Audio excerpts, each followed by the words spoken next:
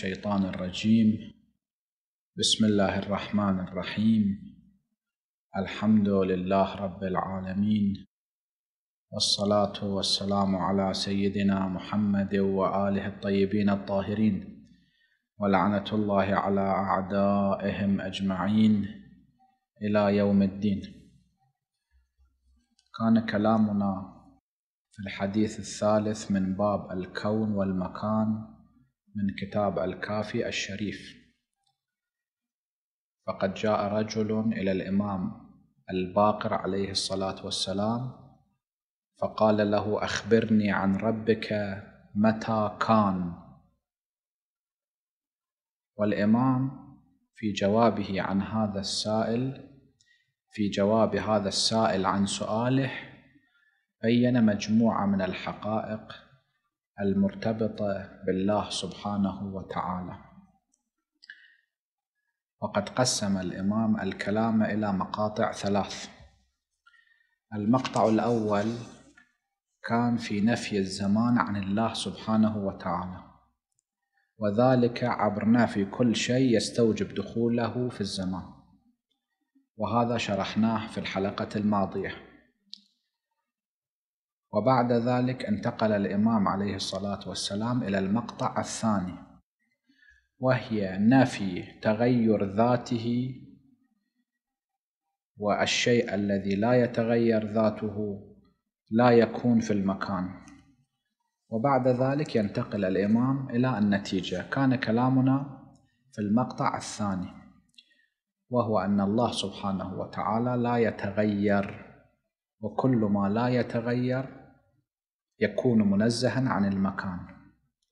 يقول الإمام عليه الصلاة والسلام كان حيا بلا حياة حادثة قد ذكرنا فيما مضى أن الله سبحانه وتعالى ليس مركب وإنما التركيب هو من صفة الأجسام. الله سبحانه وتعالى بسيط الوجود فصفاته الذاتية لا تغايره. وإنما صفاته الذاتية هي عين ذاته فحياته وقدرته وعلمه وسائر صفاته الذاتية إنما تكون هي عين ذات الله بلا فرق بينها وبين الله سبحانه وتعالى. حينما نحن نجد هذه الذات حية ننتزع منها الحياة. نحن نعبر تعبيرات مختلفة. هذه التعبيرات المختلفة لا تغير من الواقع شيئا. وكما مر سابقا فإن الله سبحانه وتعالى له أسماء كثيرة. هذه الأسماء هي مخلوقات لله سبحانه وتعالى وإنما المسمى هو واحد لا تعدد فيه. وإنما نحن ننتزع هذه الأسماء من ذات الله سبحانه وتعالى مقيدين بوصفه لنفسه يعني نصفه بما وصف به نفسه. لذلك الإمام عليه الصلاة والسلام يقول كان حيا بلا حياة حادثة لماذا؟ لأنه سابقا ذكرنا أن صفات الذات إذا كانت متغايرة مع الذات فالأمر يدور بين احتمالات. الاحتمال الأول أن هذه الصفات تكون قديمة. معنى ذلك تعدد القدماء. ذات قديمة وصفة تغاير الذات هي أيضا قديمة. وهذا معناه الشريك. وهذا معناه نفي التوحيد. الخيار الآخر أن يقال بأن هذه الصفات حادثة كما قاله بعض أدعياء الإسلام. يقولون أن هذه الصفات حادثة. حدوث هذه الصفات معناها أن الله سبحانه وتعالى لم يكن حيا ثم صار حي. لم يكن عالما ثم صار عالما. لم يكن قادرا ثم صار قادرا. لأن معنى الحدوث هو وجود الشيء بعد أن لم يكن وهذا أمر باطل ولازمه نفي وجود الله سبحانه وتعالى لأن معنى أنه لم يكن حيا يعني لم يكن موجودا لم يكن عالما يعني كان جاهلا والعياذ بالله من هذه الافتراءات الباطلة. فيبقى أن نقول بالخيار الثالث وهو أن هذه الصفات هي عين ذات الله سبحانه وتعالى بلا فرق بينه وبين تلك الصفات الذاتية. لذلك الإمام عليه الصلاة والسلام يقول كان حيا بلا حياة حادثة. يعني حياته لم تكن حياة حادثة ولا كون موصوف. يعني وجوده غير موصوف بالزمان لأن السؤال كان عن الزمان متى كان؟ نقول إن وجوده غير موصوف بالزمان. لماذا؟ لأنه خارج عن الزمان لأنه خالق للزمان لأن الزمان مخلوق. فلا يعقل أن يحيط بالخالق. الزمان محدود والله سبحانه وتعالى غير محدود. ولذلك يقول ولا كون موصوف يعني ولا وجود موصوف بأنه في الزمان ولا كيف محدود. الله سبحانه وتعالى ليست ليس له الكيفيات النفسانية لأن الكيفيات النفسانية هي توجب تغير في الذات وهي عوارض تأتي وتزول. والله سبحانه وتعالى ليس محلا للعوارض فليس له كيفيات نفسانية. لذا الإمام يقول ولا كيف محدود. هذا الكيف لأن كل كيف محدود. الكيفيات النفسانية محدودة بحدود خاصة وحدود ضيقة ولا أين موقوف عليه. يعني الإمام كما ذكرنا ينفي كل نوع من التغير في ذات الله سبحانه وتعالى. وبنفي كل أنواع التغير. يثبت أن الله ليس بمتغير فليس في الزمان وليس في المكان بل هو خالق الزمان والمكان. ثم يقول ولا أين موقوف موقوف عليه؟ يعني الله سبحانه وتعالى بدون مكان يوقف على ذلك المكان. نحن بحاجة إلى مكان سواء كان المكان بمعنى محل الاستقرار كالأرض التي نستقر عليها أو بمعنى الحيز لأن الشيء حتى إذا لم يكن مستقرا افرض بين السماء والأرض كان إنسان يسقط من السماء إلى الأرض. هذا لم يقف على مكان معين لكن له حيز وهذا الحيز يحيط به ويحتويه. الله سبحانه وتعالى هل له حيز يقف على ذلك الحيز؟ أو يحتاج إلى ذلك الحيز؟ مثلا الله سبحانه وتعالى كما يزعمون بأنه جالس بالمعنى الحقيقي للجلوس على العرش وليس بمعنى السيطرة على الملك والهيمنة على الوجود. هذا معناه أن العرش وهو مكان يكون قد احتوى الله سبحانه وتعالى ويكون أكبر من الله سبحانه وتعالى وأن الله يحتاج إلى ذلك العرش. وهذا كلام باطل ببديهة العقل وببديهة الشرع. وإنما الرحمن على العرش استوى. يعني سيطر على الملك هو المهيمن على الوجود أجمع. ثم يقول ولا مكان جاور شيئا. يعني هل الله سبحانه وتعالى له مكان بحيث أن هذا المكان يجاور شيئا؟ كلا. لماذا؟ لأنه لو كان في مكان وهذا المكان يجاور شيئا. فمعنى ذلك أن مجموع المكانين أكبر من الله سبحانه وتعالى بحيث أنه لم يكن في المكان الثاني بل كان في المكان الأول. ومعنى ذلك أن يكون هناك شيء هو أكبر من الله مكان أكبر من الله. وهذا تحديد لوجود الله سبحانه وتعالى. وهذا معناه إحاطة المخلوق بالخالق. هذا معناه كون المخلوق أكبر من الخالق. وهذا كله باطل فإن الله سبحانه وتعالى أكبر من كل شيء بمعنى أكبر من أن يوصف كما سيأتي. والله سبحانه وتعالى وجوده ليس محدودا بأي حد. زين. إذا لم يكن الله سبحانه وتعالى كونه موصوف بزمان ولا له كيف محدود ولا أين موقوف عليه ولا مكان يجاور مكانا فما هو إذن؟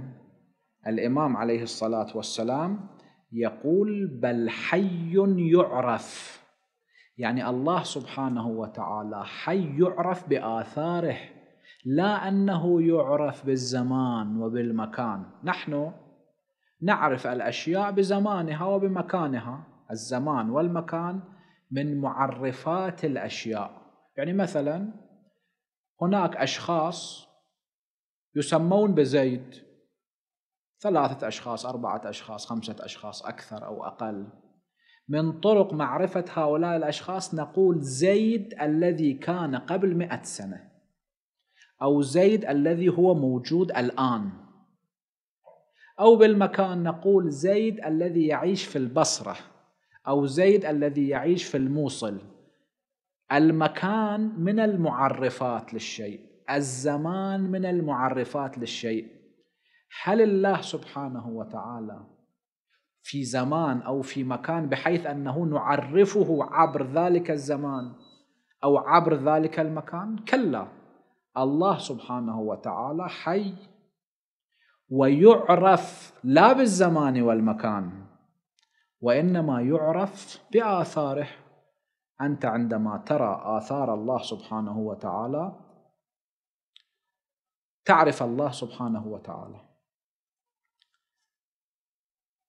في برهان الناظم وسائر البراهين الأخرى التي مرت فيما مضى. وملك لم يزل له القدرة والملك. الله سبحانه وتعالى ملك مالك لكل شيء. لكن ملكه لا يتوقف على وجود المملوك. نحن في حياتنا في أمورنا لا يمكن أن نتصور مالك بدون ملك. يقال فلان مالك نقول مالك يستوجب وجود ملك كما يقول العلماء المالك والملك من المتضايفين. المتضايفان وجودان يتوقف أحدهما على الآخر مثل الأب والابن. لا يمكن أن يكون ابا إلا إذا كان ابن ولا يكون ابن إلا إذا كان هناك أب. كذلك في ملك الناس بعضهم لبعض بعضهم لبعض أو ملك الناس للأشياء من المتضايفين. لكن بالنسبة لله سبحانه وتعالى ملكه لا يتوقف على وجود المملوك كما ذكرنا فيما مضى. الملك من الصفات الذاتية لله سبحانه وتعالى كالعلم والقدرة. ولذلك هو مالك إذ لا مملوك كما أنه عالم إذ لا معلوم. ولذلك يقول ملك لم يزل له القدرة والملك. الله سبحانه وتعالى ليست ملكه وقدرته بتبع إيجاد الأشياء. بحيث أنه إذا لم يكن أوجد الأشياء فليست له قدرة. كلا. إذا لم يكن أوجد الأشياء ليس بملك ولا مالك. كلا. لأنه لو كان قدرته لو كانت قدرته وملكه تتوقف على إيجاد الأشياء معنى ذلك احتياج الله إلى تلك الأشياء. لأنه لولا تلك الأشياء لم يكن قادرا. لولا تلك الأشياء لم يكن ملكا. والله سبحانه وتعالى منزه عن الاحتياج. الصفات الذاتية هي عين ذات الله سبحانه وتعالى كما ذكرنا ذلك مرارا. فأي صفة من صفاته الذاتية لا تحتاج إلى المخلوقات بل الله سبحانه وتعالى هو الغني الحميد. بل ذاته لها القدرة والسلطنة سواء كانت الأشياء موجودة أو لم تكن موجودة. يمكن يصير سؤال كيف يكون قادرا بدون وجود شيء؟ إذا إحنا نريد نقرب الفكرة إلى الذهن نقول مثل شخص بلا تشبيه ولكن لتقريب الفكرة إلى الذهن إذا شخص له قدرة كبيرة لكن لم يستعمل هذه القدرة. عدم استعمال القدرة ليس بمعنى عدم كونه قادرا. الله سبحانه وتعالى هو قادر بالذات. قبل أن يوجد الأشياء لم يكن يخلق لم يكن قد خلق الأشياء ولكنه كان قادرا. وكذلك الملك في الله سبحانه وتعالى بمعنى قدرته على إيجاد الأشياء وعدم إيجاد الأشياء لأن صفات الذات كلها ترجع إلى ذاته سبحانه وتعالى. زين. الله سبحانه وتعالى فقدرته وملكه لا تتوقف على وجود الأشياء. يعني سواء أوجد الأشياء أو لم يوجد الأشياء فهو قادر ملك. اذا لا تغير في ذاته. كما ذكرنا أن هذا المقطع الثاني نفي التغير عن ذات الله ونتيجة ذلك لأنه ليس بمتغير اطلاقا فهو لا يحتاج إلى مكان ولا إلى زمان. زين.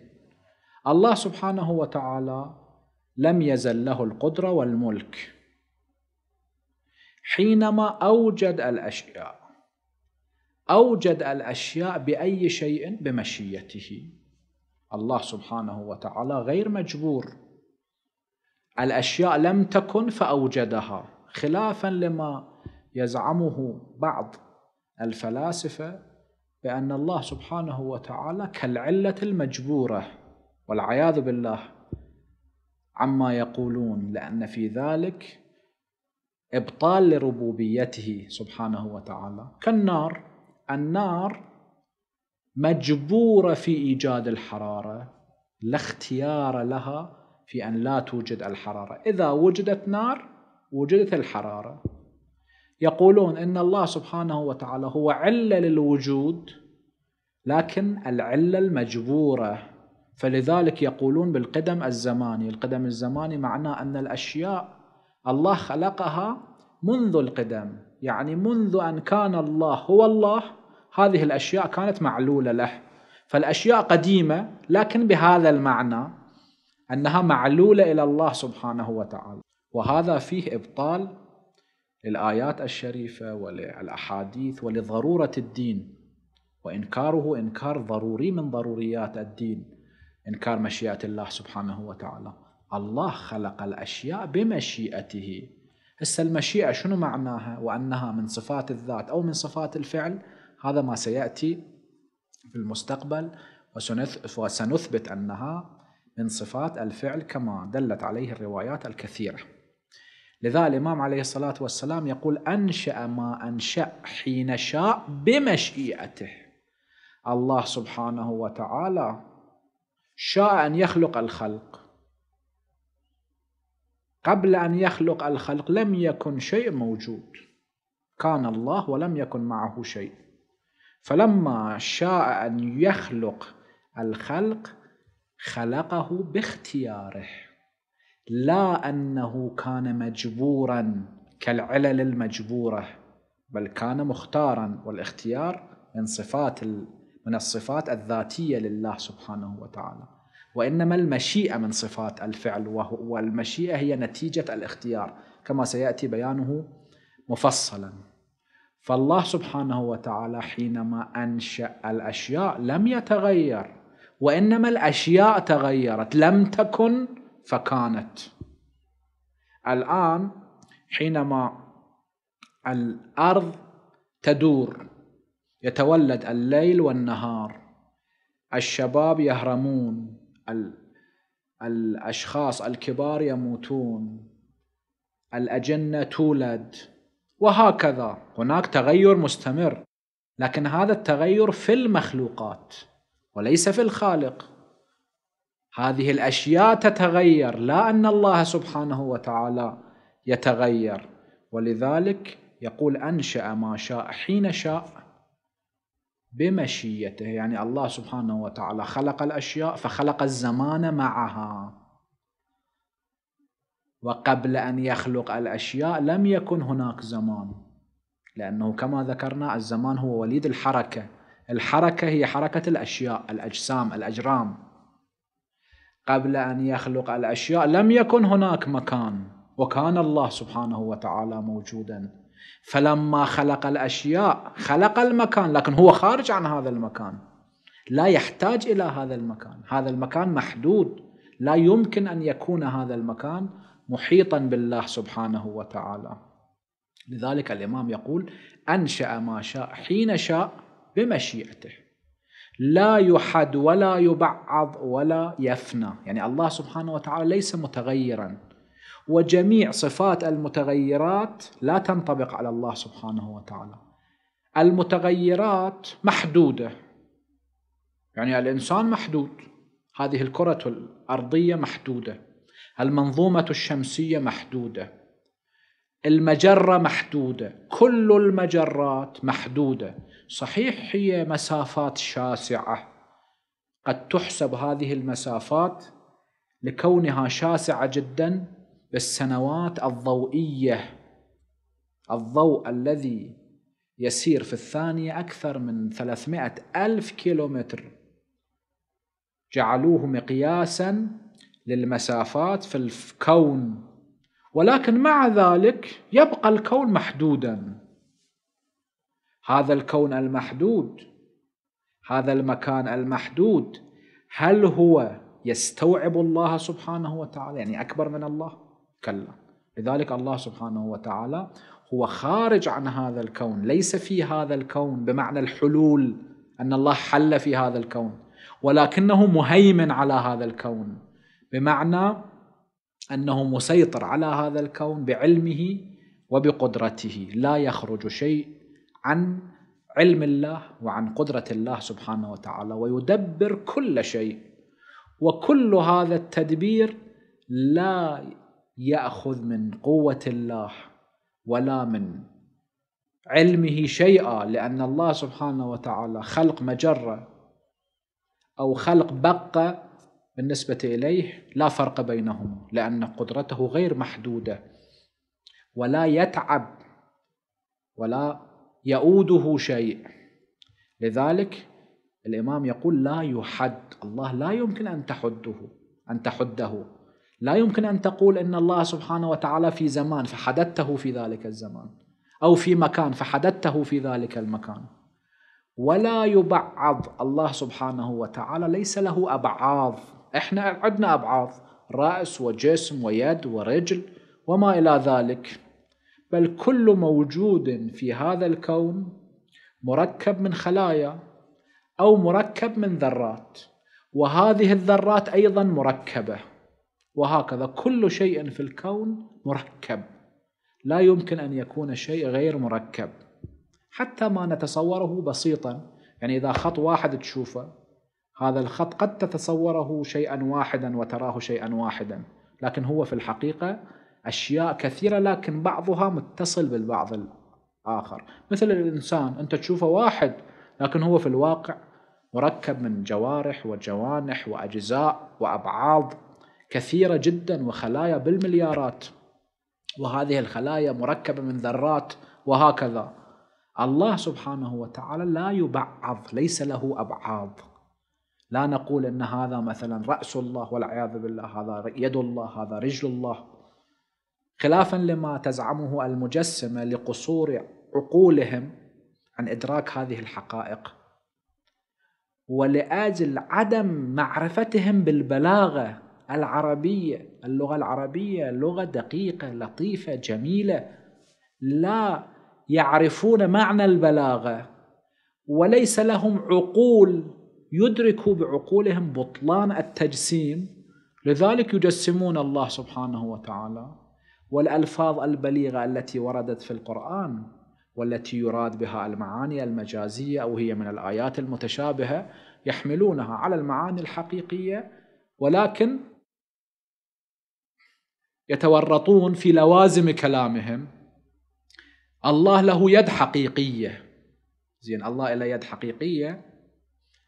في آية يعبر بيد يد الله فوق أيديهم في آية يعبر يدين لما خلقت بيدي في آية يعبر بأيدي والسماء بنيناها بأيد وإنا لموسعون. زين الله عنده إيد واحدة أو إيدين أو ثلاث أيادي يتورطون هنا.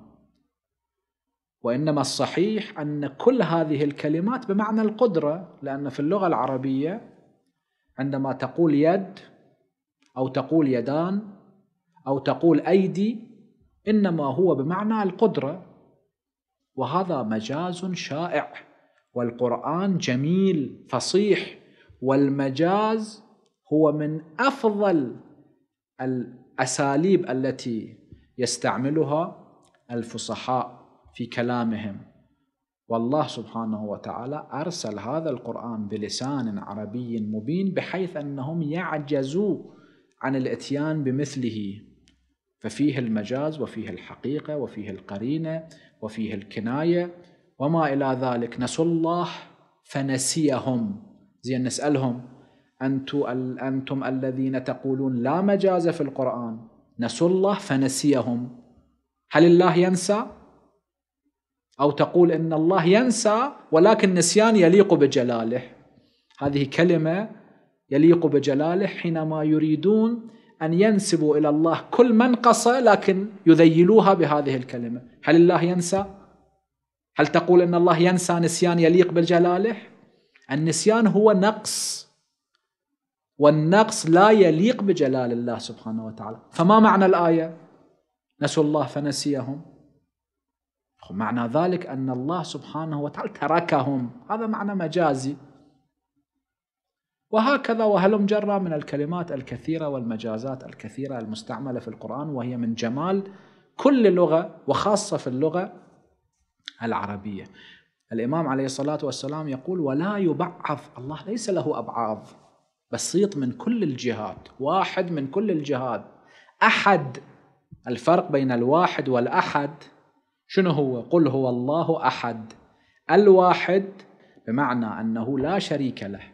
والأحد بمعنى أنه لا جزء له. الله سبحانه وتعالى ليس أجزاء مختلفة. هذه الأجزاء كونته كما نحن أجزاء مختلفة تكوننا. نفس وروح وجسم والجسم مركب. كلا الله سبحانه وتعالى ليس هكذا. ولا يبعض ولا يفنى. الله سبحانه وتعالى لا يزول. عكس الأجسام. الأجسام كما يعبر بعض العلماء هذا الكون هو عالم الكون والفساد. يعني يتكون شيء ثم يزول يتحلل يتكون شيء آخر. أنت انظر إلى هذا العالم بأسره يتكون شيء ثم هذا الشيء يتحلل ويتكون شيء آخر. من أصغر ذرة إلى أكبر مجرة. حتى الكون هذا المنظومة الشمسية التي نحن نعيش فيها يقول علماء الفلك الحديث إنها تكونت قبل أربعة مليارات سنة وبقي لها من العمر أربع مليارات سنة وبعد ذلك ستنفجر وبذراتها ستتكون مجرات أخرى وكواكب أخرى ونجوم أخرى وهكذا. وكذلك في الأرض نرى النباتات الأشجار الإنسان يتكون ثم بعد ذلك يتحلل ما تحلل أيضا سيتكون بصور أخرى وهكذا وهلم جرة أما الله سبحانه وتعالى ليس بالجسم حتى يعرض عليه ما يعرض على الأجسام من الفناء أو من التبعيض أو من الحدود.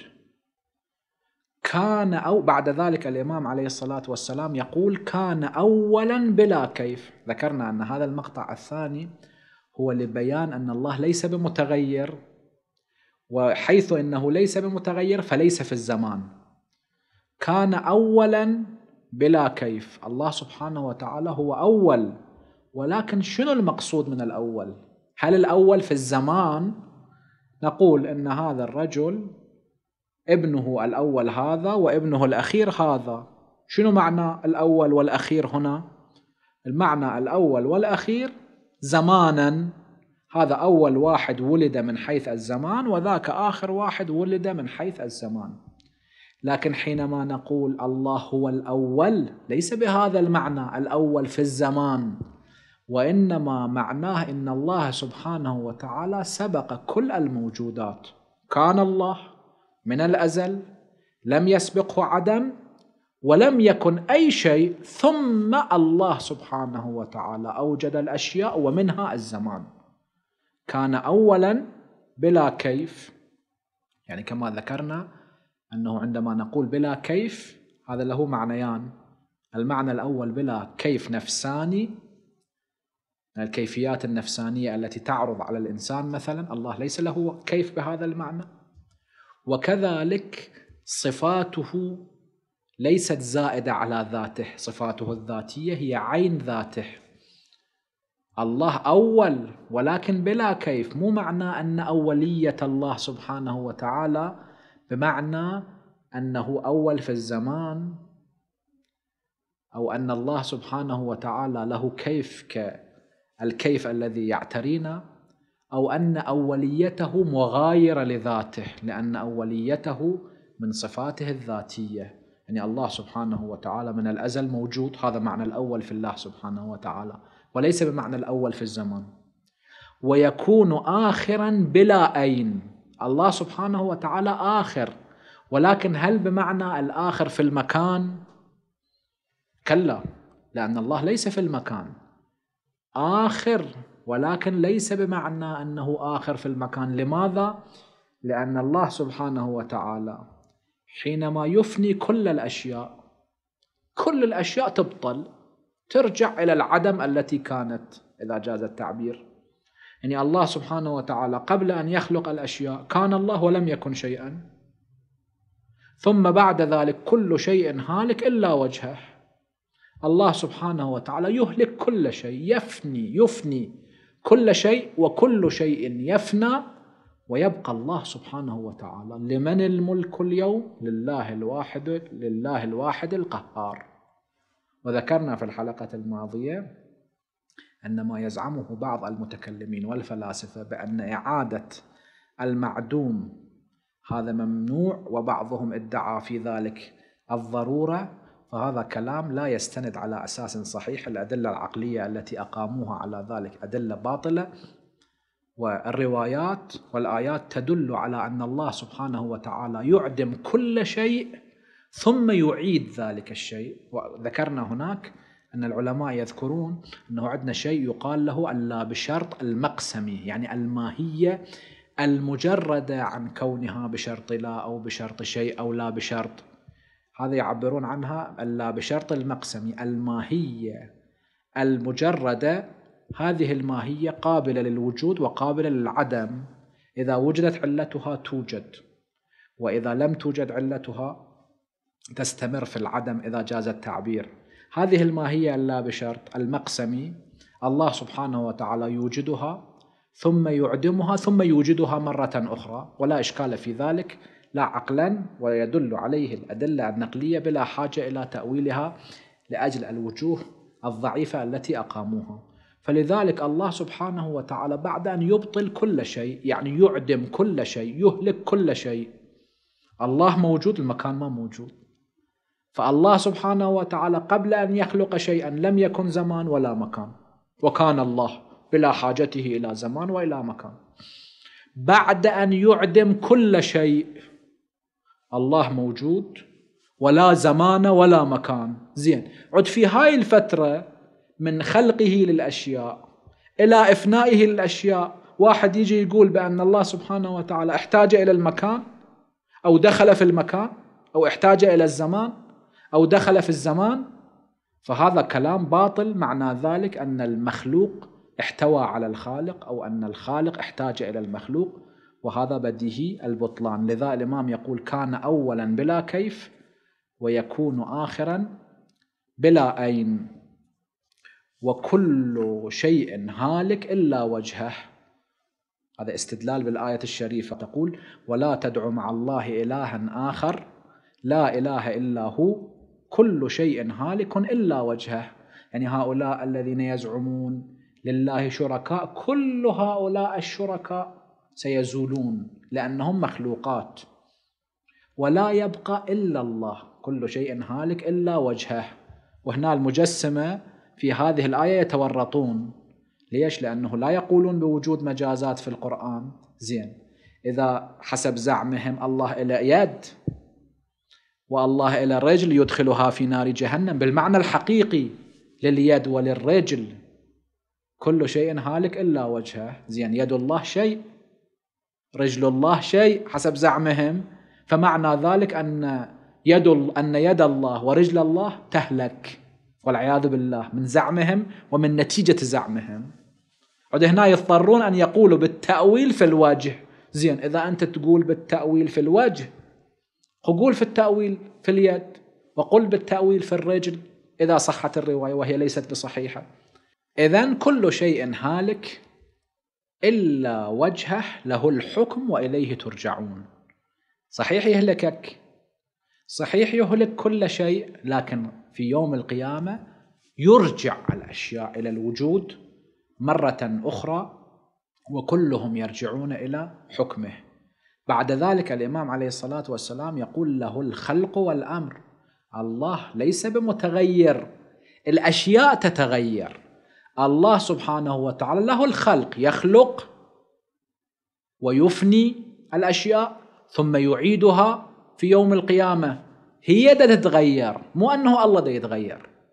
له الخلق والأمر. وهذا إشارة إلى آية أخرى إن ربكم الله الذي خلق السماوات والأرض في ستة أيام ثم استوى على العرش. يعني سيطر على الملك لا كما تزعم اليهود يد الله مغلولة غلت أيديهم ولعنوا بما قالوا. لا ثم استوى على العرش. الله مسيطر على الملك مسيطر على العالم أجمع. يغشي الليل النهار يطلبه حثيثا والشمس والقمر والنجوم مسخرات بأمره. ألا له الخلق والأمر؟ الله يخلق وله الأمر.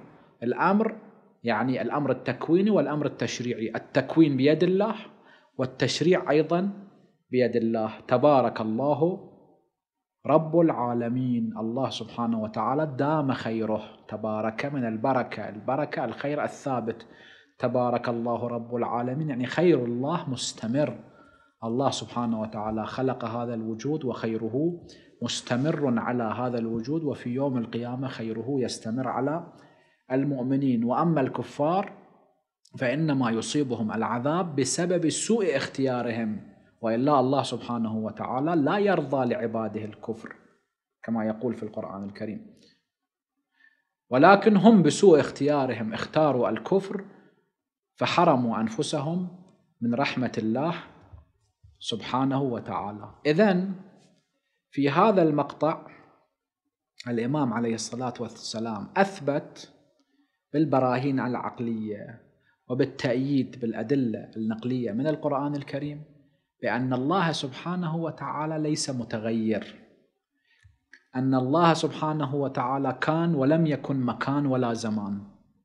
ثم إن الله سبحانه وتعالى يفني الأشياء ومنها الزمان والمكان وهو موجود من غير أن يكون هناك زمان ومكان. فالسؤال عن متى كان الله سبحانه وتعالى كما سأل هذا السائل هو سؤال خطأ من أساسه. السؤال شنو كان؟ أخبرني عن ربك متى كان. هذا السؤال خطأ منهجي خطأ من أساسه. لذا الإمام يقول ويلك أيها السائل إن ربي لا تغشاه الأوهام. أنت توهمت أن الله سبحانه وتعالى كسائر الناس كسائر المخلوقات الوثنيين يتصورون أن الله مثلنا لذا عندما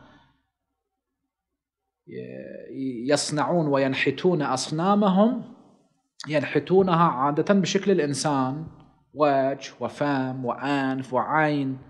هكذا يتوهمون الله سبحانه وتعالى يتوهمون الخالق أو يتوهمون الآلهة التي يعبدونها. بصورة إنسان الإمام يقول إن ربي لا تغشاه الأوهام. أنت تتوهم أن الله كالناس؟ فلذا تسأل عن مكانه تسأل عن زمانه مع أن الله سبحانه وتعالى ليس له زمان وليس له مكان. ولا تنزل به الشبهات الله سبحانه وتعالى وجوده ظاهر. براء البراهين على الله سبحانه وتعالى في كل شيء وفي كل شيء له آية تدل على أنه واحد. سنريهم آياتنا في الآفاق وفي أنفسهم حتى يتبين لهم أنه الحق. وإذا بعض الناس هؤلاء أحاطت بهم الشبهات. فهذا مثل فد إنسان يشك في كل شيء. أكو ناس هؤلاء لهم وسوسة وهم كالسفسطائيين. كل شيء يتصورونه وهما كل ما في الكون وهم أو خيال أو عكوس في المرايا أو ظلال أو ظلال. هكذا يتصورون.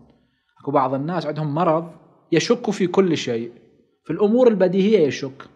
مثل الوسواس. عنده وسوسة يشك حتى في الأمور البديهية. هذا إنسان هو مريض. الواقع لم يتغير. عما هو عليه. هذا مريض. والذي له شبهة في الله سبحانه وتعالى الواقع ما يتغير. الله سبحانه وتعالى لا يتغير بهذه الشبهات. إنما هؤلاء هم مرضى. هؤلاء غطوا على فطرتهم وألغوا عقولهم لذا جاءوا وشككوا في الله سبحانه وتعالى. أو يعيشون عقدة مثل أكو بعض الغربيين يعيشون عقدة الممارسات السيئة لمحاكم التفتيش الكنسية في القرون الوسطى. وكذلك الخرافات الموجودة في كتبهم يعيشون عقدة. فهاي في الواقع هاي العقدة هي مرض نفسي. مرضه النفسي انعكس على إنكاره للبديهي إنكاره لأبدة الأشياء وأوضحها وهي وجود الله سبحانه وتعالى. لذا الإمام عليه السلام يقول إن ربي لا تغشاه الأوهام ولا تنزل به الشبهات ولا يجار ولا يجار إشارة يعني لا يجار عليه قل من بيده ملكوت كل شيء وهو يجير ولا يجار عليه إن كنتم تعلمون يعني هو يغيث من يشاء ولا أحد يغيثه لأن الله سبحانه وتعالى هو الغني المطلق ولا يحتاج إلى إغاثة وهو يجير ولا يجار عليه. فلذا الإمام عليه الصلاة والسلام يقول ولا يجار ولا يجاوره شيء. الله سبحانه وتعالى ليس كالمخلوقات بحيث أنه يحتاج إلى زمان أو مكان حتى يجاور الزمان أو يجاور المكان. كلا ولا تنزل به الأحداث. كل هذا لنفي التغير عن الله سبحانه وتعالى. إذا لم يكن متغيرا فهو خارج عن الزمان لأن كل شيء داخل في الزمان الزمان يغيره كما ذكرنا. الله سبحانه وتعالى خارج عن الزمان فلا يتغير. وعدم تغيره وعدم تغيره من أدلة خروجه عن الزمان وأنه ليس داخل في الزمان. ولا تنزل به الأحداث ولا يسأل عن شيء. الله سبحانه وتعالى يقول لا يسأل عما يفعل وهم يسألون. لماذا الله لا يسأل عما يفعل؟ لأن الله أعماله حسب الحكمة وكلها صواب. والذي عمله صواب لا يسأل عن عمله. مضافا إلى أن الله سبحانه وتعالى هو المالك والخلق كله عبيده والله مسيطر عليهم فلا يس... لا يتمكنون من من أن يسألونه عن أفعاله. نعم قد يسألون ليعلموا لا أنه ليح... ليحاكموه ليحاسبوه. لذا ولا يسأل عن شيء ولا يندم على شيء لأن الندم هو بسبب الجهل أو بسبب عدم الحكمة. والله سبحانه وتعالى لا يندم. هذا كله لنفي التغير عن ذات الله سبحانه وتعالى. ولا تأخذه سنة ولا نوم. السنة من الوسن. الوسن ما قبل النوم الحالة اللي تعرض الإنسان بين النوم واليقظة. اللي بعدها ينتقل إلى النوم. هذه الحالة السنة الوسن لا يأخذ الله سبحانه وتعالى. ولا نوم ولا أنه ينام لأن هذه عوارض الأجسام عوارض الممكنات. هذا دليل الاحتياج الإنسان يحتاج إلى النوم. هذا دليل الضعف الإنسان ضعيف لذا يحتاج إلى النوم. والله سبحانه وتعالى منزه عن كل ذلك. له ما في السماوات وما في الأرض وما بينهما وما تحت الثرى. هذه أيضا إشارة إلى آية قرآنية. الله سبحانه وتعالى في سورة طه يقول له له ما في السماوات وما في الأرض وما بينهما هذا الفضاء اللي بين السماء والأرض وما تحت الثرى الموجودات التي ميتة أو الموجودات التي هي في الأرض المعادن أي شيء تحت الأرض. فكل ما في السماء لله كل ما في الأرض لله كل ما بين السماء وما بين الأرض لله ما تحت الثرى لله سبحانه وتعالى كل شيء لله. الله هو المالك الحقيقي هو الخالق فتحصل أن الله ليس في الزمان ولا في المكان لأنه كان ولم يكن زمان ومكان. ثم أوجد الزمان والمكان وبعد ذلك يفني الزمان والمكان وكل شيء والله هو الله بدون أن يتغير. فلا يعقل أن تسأل عن متى كان الله سبحانه وتعالى. هذا هو الحديث الثالث من باب الكون والمكان. إن شاء الله الأحاديث الأخرى سنتطرق إليها في حلقات قادمة بإذن الله سبحانه وتعالى هذا وآخر دعوانا أن الحمد لله رب العالمين وصلى الله على محمد وآله الطيبين الطاهرين.